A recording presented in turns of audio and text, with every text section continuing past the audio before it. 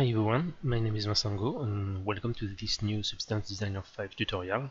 Um, today we are going to try to make something new, which is to make a baker inside uh, Substance Designer, but not a baker like uh, the, the classic one that we have when we click on an object, for example. Uh, here, bake model information, but just um, this is actually it's really making a graph that will become a, a node that you can use to bake and to transfer te um, texture from one object to another one. So for example here um, I have this teapot with uh, new UVs and uh, if you look at these ones these are the, the all maps that I bake with the same geometry but different UVs. So for example if you see that if I use them here it's it obviously doesn't work. Same for the ambient occlusion. But if I plug them here you wait a bit and you see it works. Um, this is realized thanks to the magic box is here. So basically as you see it's just uh, two inputs a pixel processor and a, an output node of course. So let's do it now so we're going to try in a new package here, for example. So first of all, uh, what you need to have is your two mesh to import your two mesh. I'm going to do it now. So here I imported my old uh, UV pot and the new UV pot. What we will do here, for example, we'll bake some some stuff on it that will be used just to as a as a proof of concept, let's say. So I don't need that. What I, I will do for example the ambient occlusion the world normal map and um, um, where is it? The position we are going to take the vertical axis which is y. So with these three maps we are going to bake them in uh, 248 and I think that's it. Just, this is this is not directly useful, but it, it's uh, to have something to transfer uh, when we are done. So right now we have our three maps. Perfect. And now we are going to do something which is to create uh, what we call the a UV coordinates map. So I'm just detailing, we are going to reuse it. Basically, I, took uh, a gradient linear that I switched uh, 180 degrees here and here. I just switch it clockwise. Sorry. This then I use a gradient map to tint uh, in, in uh, pure green on one axis and pure red on the other axis. And we obtain this map. Um, what I did here what is really important here as you see is I am in a really high resolution the maximum uh, 4096 and this is really important for the precision of uh, the final result. If not you see we are going to have stuff like this. It's good, good that we see it now. Okay.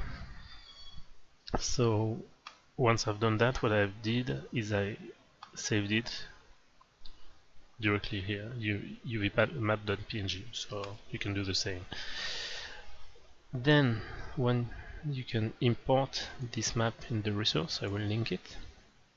And it's here. Okay. Now let's create a new graph that we call uh, magic box. Tuto. Magic box. Tuto. Magic Mm, the size is not uh, that important. We're going actually to put it relative to parent, and it's uh, it's important. Okay, so first I put an output that I will put uh. It's not really important, mm, that important, but uh, um, baked, no transfer map.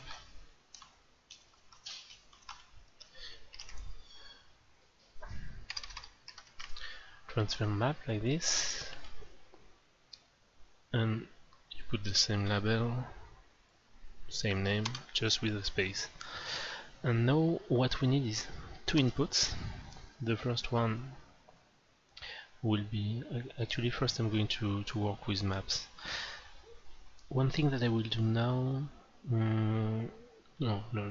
First let's do our our graph. So two inputs we say and they have to be in color both. This one would be um, the coordinates that we're going to transfer so let's call it identifier. Um, transfer UVs you will see in a moment what it is exactly. And here I will call it old, old map which will be the map that we want to transfer.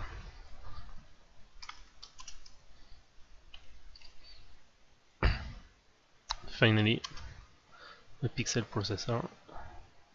So just let me check. Well, the order is not that important so I will put first the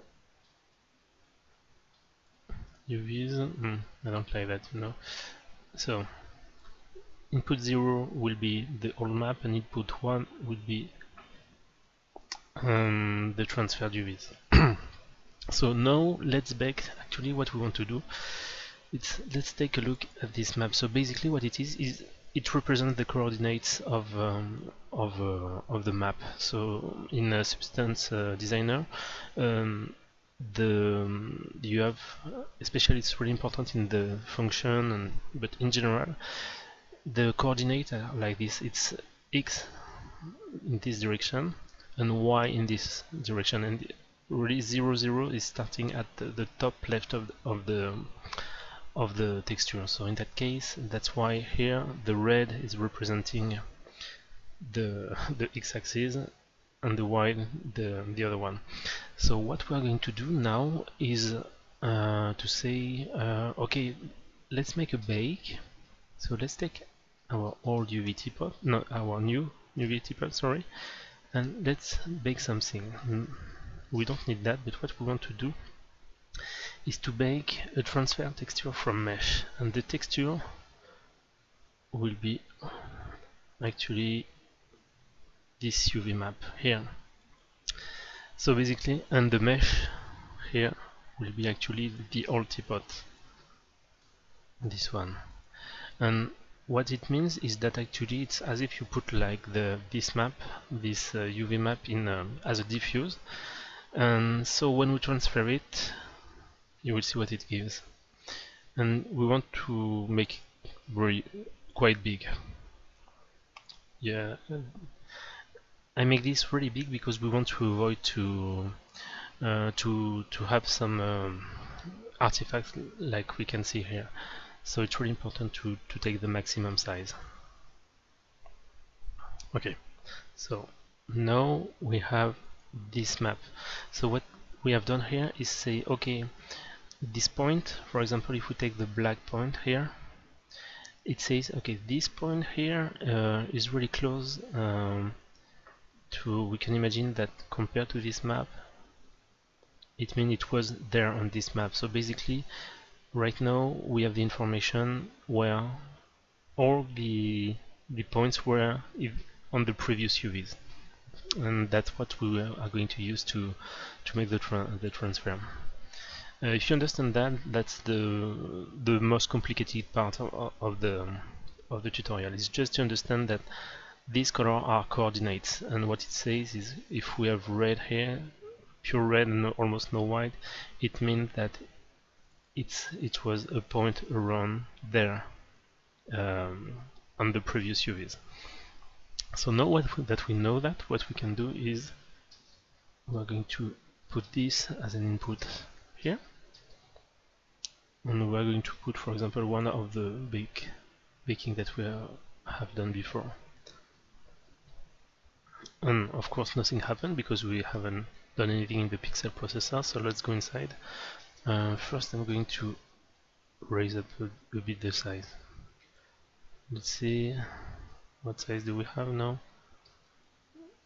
124 yeah to start. Okay. Quite good. It will be better at the end but to, to make to work it will be faster. So we're going to delete this node first and what we're going to do is first to take a variable which is getFloat2 to get the position of the map here. And um, so and we are going to make a first sampler which is a sampler sample color.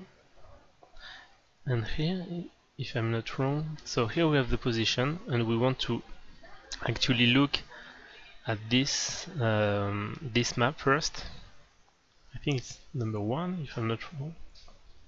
So what we do is for each pixel we look at the color here and from that we are going to create a, um, a new coordinate. So we need two swizzle float to separate x and y. So another one vector swizzle I'm going to put it here. Uh, what does swizzle uh, do is to take a vector for example with uh, here there is uh, here we have two vector 2 because there is uh, the, the, x and y. Here we have a vector 4 and the swizzle is taking one of this channel and separate it simply simply. So here for example I want to have x which is the red color and y here which is the green color. And from that know that we have here this red and, and green color are actually values as well for us. So what we are going to do is just to create a vector float 2 where we are going to plug these two. So to summarize we grab the position of each pixel one by one. For each pixel we look at the color that is in the input one which is this image. And then we say okay right now look at uh, uh, take the x and separate convert its color on xy axis. And we have a new expose but which correspond to this color. So right now what we're going to do is to sample again a color like that. But in that case we are going to take the this image the zero uh, input image zero. I'm going to check yes which is this one. So if we go back now once again we took the color. We look at the the color in the UV coordinates maps you say okay generate a new vector from that. And uh, and with this vector grab the color in uh, in the other map that we want to to project. And basically that's it. So you see it's extremely simple. So the the most it use like one two three four five six nodes. You put this one as output node. And we go back here. And if we double click here we have our map. So let's say if I do view in 3D view here we go. You see it was super fast. Um, of course you see there is some artifacts it's uh, because it's heavily dependent of the resolution that we are going to use. So now what I'm going to do is to put that back to zero. So of course it will look worse. It's, but it's because the idea is not to use this uh, here but to use it in a other graph. So for example right now um, let's clean a bit okay and uh, remove that. Okay so I'm here. I'm going what is this graph? No this one we want to let's create a new graph which is like an empty one. Okay. So right now what we want to do is to say okay the first output. Let's output a diffuse for example. And let's say okay you know what? We want to have that here. And now let's go to our resource and we have our all maps which are these three one. Let me let's make a frame like that to clean. So old maps to transfer. Like that. Wonderful. And right now we also want to use our transfer UVs, which are here. Hmm what did I weird Okay, no, because I, I didn't trans I transformed the output. So let's remove that and let's look here. Okay, in the new teapot resource. Okay, here is our map, which is extremely big, but we are going to keep it this way. And finally, right now, what we want to do is we want to transfer our new graph to create a graph instance, or which is a node basically of our graph. And then let's look at what we can at what we have. So here, of course, it doesn't work. If you do it directly, you see that the UVs are not good. But right now, let's plug our UV coordinates at the transfer UVs. And let's plug our map here. Let's wait a bit. If you double click, you see that it has been calculated. Maybe I will have to increase the size. Let's see. And now, it's good directly so you see that we have transferred and as I say it's really important at the beginning when you do the the, the baking of the UVs to have a high quality UV coordinates map. If not, uh, when you do the, the sampling of the pixel, um, it won't have enough enough resolution and you, and you will have big artifacts. Uh, if you have seen my uh, my previous video, you may have seen that the quality was a bit weird, and uh, so I, I checked this morning to to find where it could come from, and actually it was that it was the previous maps. But the good thing right now is you see like in uh, really fastly you can transfer UVs like that. Of course here it put I, I will put this in color, this bitmap will be easier here we go. So you see and you see there may be few artifacts but once again if I actually um, increase the size for example putting something like let's put the maximum. It will be a bit longer of course but you see there is less artifact. So it's not as accurate as a real baker of course but it could be very useful. For example if you uh, want to use it um, if you want to make a bake really fastly. And just for for the sake of using uh, pixel processor it's quite cool. So as I say you just have right now to bake. And actually you know what was is maybe this one for example you see it seems to the size seems to be locked? Mm, yeah. So I have to check yes because it was relative to input. Let's put it relative to parents and the result will be better. Okay so that was it. As you see it was really fast. Uh, so once again uh, three steps. Uh, first is to create to create this UV map uh, then to bake this UV map and uh, don't forget about using a high resolution and then create this graph, which is the transfer UVs and um, one of the map to transfer as input. And once again, just to make sure we got it, you use a get post to get the position of each pixel one by one. You use you then use the the color use you grab the color of the UV coordinates. From that, you use this color to create a new vector uh, of coordinates and then with that you, you use this vector to grab the color in the map to project. So I hope it's clear. As you see, it's not that hard, and uh, at least it doesn't take a lot of time to do. Uh, if you have any question, of course, don't hesitate to add them in the comments, and uh, don't hesitate to reach out that if you like this tutorial. Thanks again, and have a great day.